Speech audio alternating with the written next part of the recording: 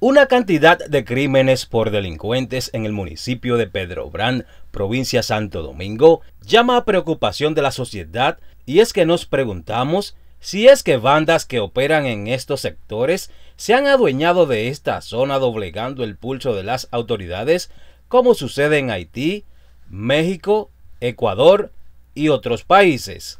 Zonas comprendidas entre los Alcarrizos, Mano Guayabo, Buenos Aires de Herrera, Pedro Brand y algunos sectores del municipio de Santo Domingo Este son áreas donde los delincuentes no les importa raza, color, edad, sexo, tamaño ni rango.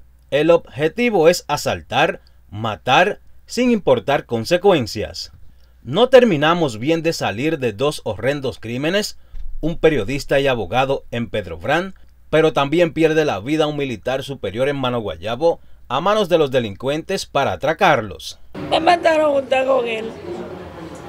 Mi abogado, mi defensor. Seguido también en el municipio de Pedro Brand, dos jóvenes cristianos murieron la noche del jueves pasado tras recibir varios impactos de bala durante un intento de asalto mientras se desplazaban a bordo de una motocicleta por el kilómetro 32 de la autopista Duarte. Las víctimas fueron identificadas como Javier Hernández, de 28 años de edad, y José Manuel Gómez, de 38, quienes fallecieron al instante.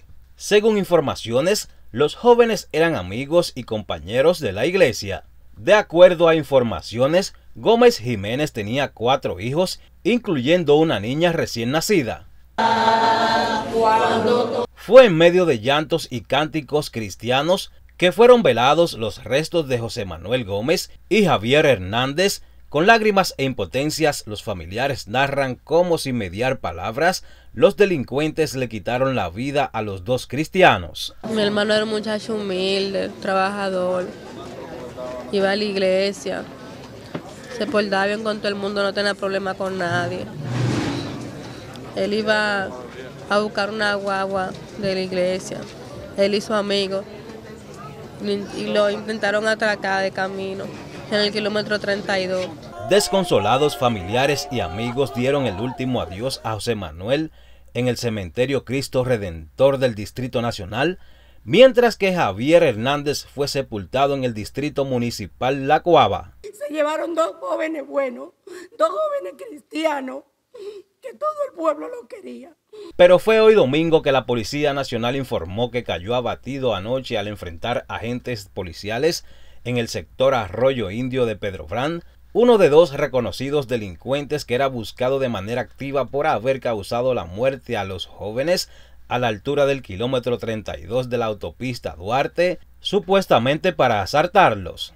Se trata de un hombre identificado como Linquito, en cuyo poder se ocupó la pistola marca Taurus, calibre 9 milímetros, color negra, serie TVR 00335, la cual portaba de manera ilegal y con la cual supuestamente atacó a los agentes actuantes.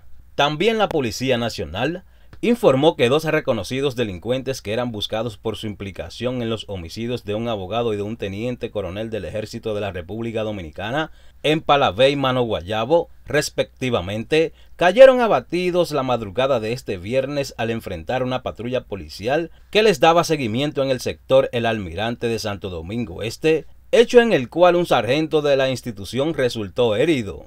Se trata de Keuris Bautista Fenelus alias Papichuki, y Martín Noel Jeans, quienes fallecieron mientras recibían atenciones médicas en el Hospital Docente Universitario Dr. Darío Contreras a causa de las heridas de bala que sufrieron al enfrentar la patrulla policial actuante. La gente ya no quiere ver estadísticas en conferencias de prensa en el Palacio de la Policía de cómo sube y baja la criminalidad, sino que moradores necesitan tener resultados reales en sus comunidades.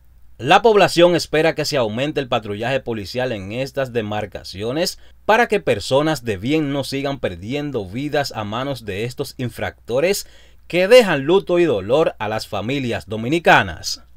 Rudy Armando Tejeda, paso a paso.